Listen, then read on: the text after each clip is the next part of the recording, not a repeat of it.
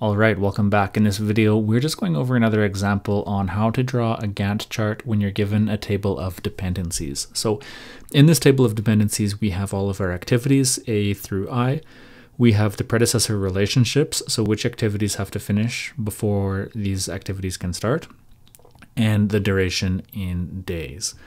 So to get started, let's just start at the top. We see that activity A, B, and C have no predecessor. So they're going to start at the very beginning of the project, all of them. And uh, let's just start with A here. So activity A is two days. So we start literally at zero and we count over two days like this.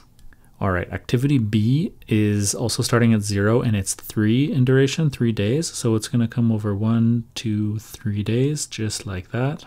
And activity C also starts at zero because there are no predecessors and it's just one day long. Now for activity D, D depends on A, so A has to finish before D starts.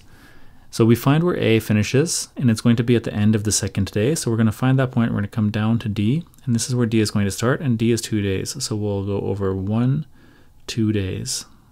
All right, uh, next up we have activity E.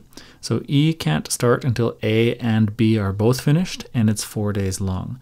So A is going to finish here at the end of the second day, and B is going to finish here at the end of the third day. It can't start until both of those are finished, so E has to start here at the end of the third day, or really at the beginning of the fourth day, and it's going to be four days long. So we're going to count over one, two, three, four. The same thing is going to be for F. F depends on B and C. So F can't start until B and C are both finished and is a duration of one.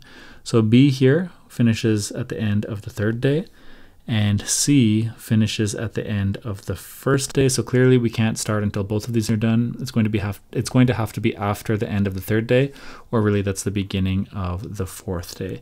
And this one was just one day long. So it's just going to come out like that. All right, let's do the same thing for activity G.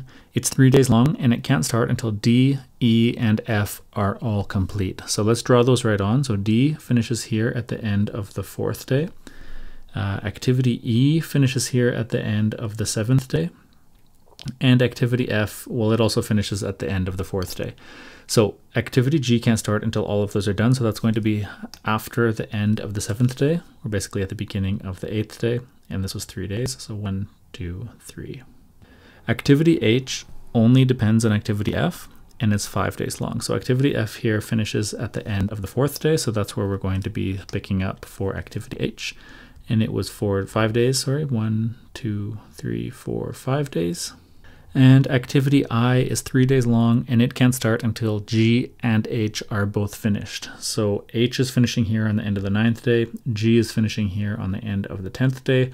So it can't finish until both of those are satisfied. So it's going to have to start here after that point or in the beginning of the 11th day and it's going to come over one, two, three days, just like that to wrap up our project. So now that we have the Gantt chart drawn, we can actually see that the duration of the project is going to be 13 days, as long as nothing goes wrong. Like that's the expected duration.